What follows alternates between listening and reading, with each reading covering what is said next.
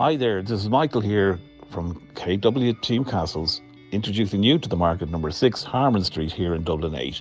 This is a superb two bed, two bathroom bungalow. Come on in and have a look.